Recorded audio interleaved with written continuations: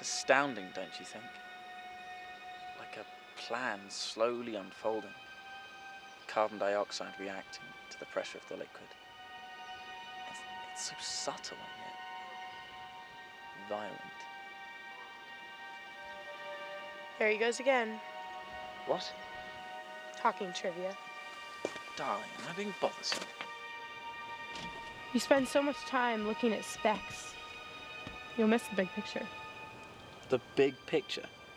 Yes, That's really your concern. it should be yours too. Darling, we have different mindsets. Where you see the grand strokes of the finished product, I obsess over every little dab, all the intricate details. The process. Do you know what I mean? Let me tell you what I see. Darling, can you please leave the newspaper on the coffee table? Are you serious? Who cares? How many times do we have to go over this? The counter is full. I see a man so obsessed with the details that he doesn't even notice his own wife.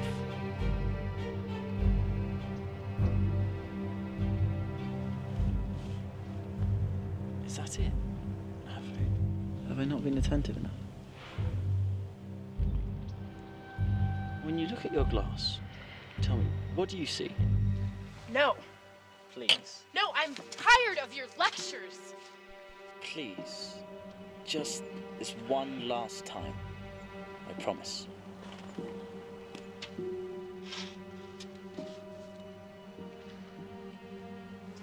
A glass. Is that all?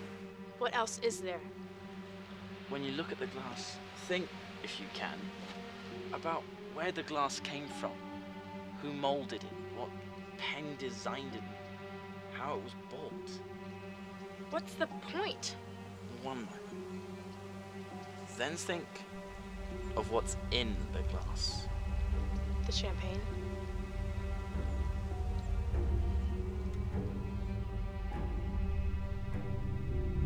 Strange. When you really look, you see More.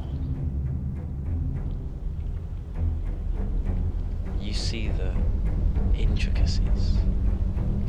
Each and every chemical reaction.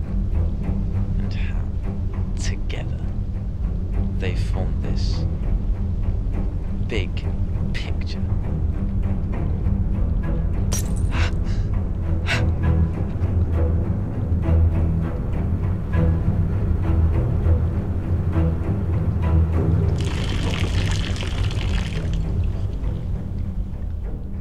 The details, darling. The details.